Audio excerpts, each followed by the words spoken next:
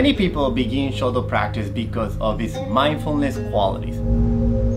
The activity of drawing a stroke and composing a kanji character unifies the mind and body and can bring clarity and relaxation to everyday tasks.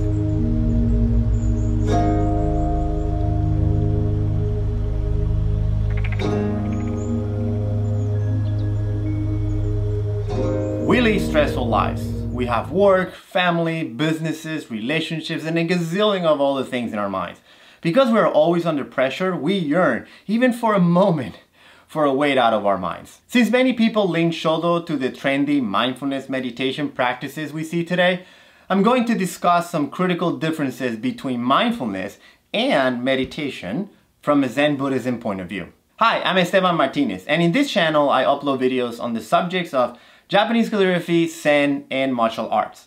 I began to study Zen Buddhism in 1998 while participating in a summer intensive Aikido training.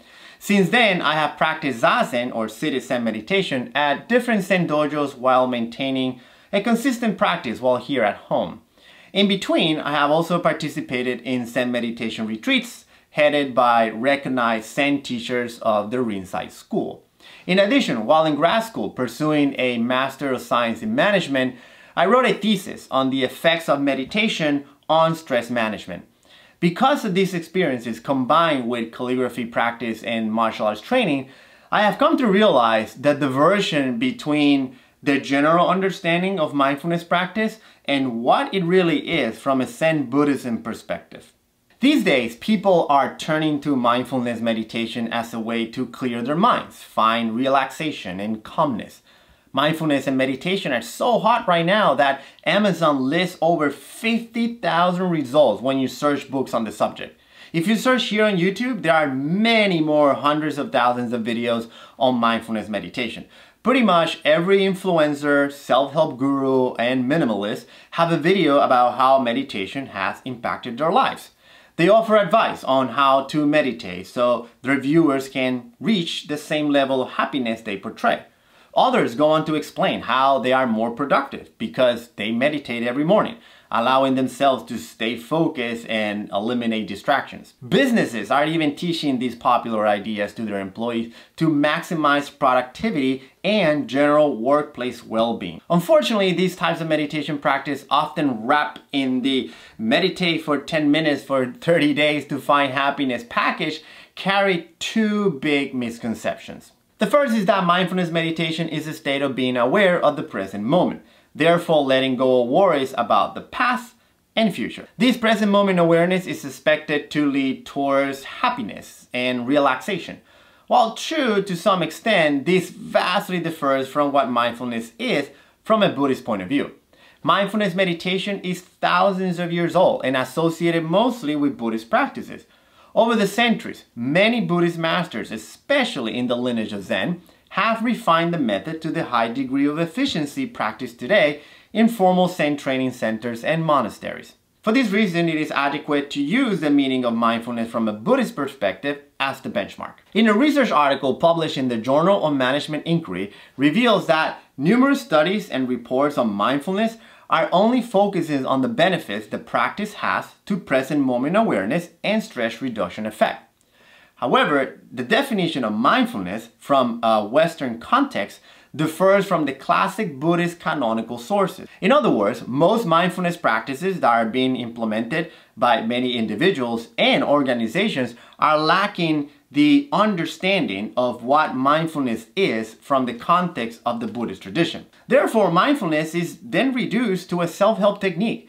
This approach is even dangerous when misused by corporations to promote non-judgment of work environments and have employees accept and cope with their jobs, including cases where the work environment may be toxic. The authors of this article also argue that mindfulness is not equivalent to non-judgmental awareness and that Buddhist mindfulness is not merely a practice to reduce stress. In the context of Buddhist practice, mindfulness is not a state of relaxation, but a state of realization. Classical Buddhist texts define mindfulness as an active state of retention and remembrance, a state of realization of one's true self. It is difficult, if not impossible, to define what our true self is with words. Zen does not find these answers intellectually. Instead, one must embody this realization, often called awakening, and manifested during daily life activities. The misunderstanding lies in the thinking that mindfulness meditation is a way to escape from the mind when it rather is a way to enter it and deal with it head on. Mindfulness meditation is the pursuit to find who we are. Then, how do Zen meditation offers the relaxation and happiness the modern trends promote? It doesn't really. the idea that sitting still in silence for long periods is peaceful comes from folks who approach meditation merely from a mental state and disregard altogether the role the body plays in achieving the meditative state. The second misconception is that mindfulness meditation is achieved through the mind, when in fact it is through the body that is truly absorbed. Meditation instructions given by the modern trends only say to close your eyes and focus on the present moment without judgment. It may also help if you listen to a guided meditation to make it easier to deal with random thoughts. On the other hand, traditional Zen meditation requires the engagement of the breath and body to enter a state of meditative absorption. The eyes remain open with conscious awareness while expanding our field of view. The breath, driven by the diaphragm, is slow yet full, focused on deep, long exhalations while engaging the abdomen muscles.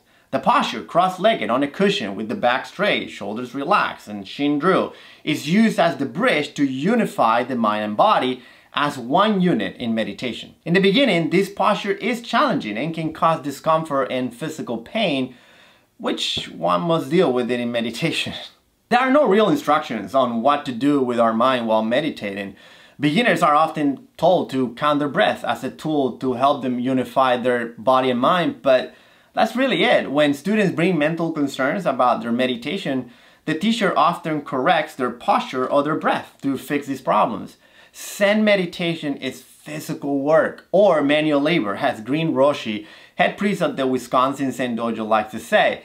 If we disregard the role the body plays in meditation, we then aren't really entering a meditative state. Instead, all we're doing is sitting in illness with our AirPods on. So why the hell would anyone do Zen meditation? These YouTube videos are telling us to simply close our eyes for 10 minutes, be non-judgmental and in the present moment. Zen, on the other hand, is demanding we sit on a cushion uncomfortable for 45 minutes to breathe with all our might and face the realities of our true self. It's hard to argue with that. And it's probably the reason why the word Zen is popular, but the practice is not. While meditation and mindfulness are hot topics these days, Zen dojos are not really full of practitioners. The truth is that Zen meditation can indeed be common. The physical and mental struggles eventually fade, but it takes time, a lot of time. However, this achievement is a byproduct of the training, a benefit of training for a long time, so to speak.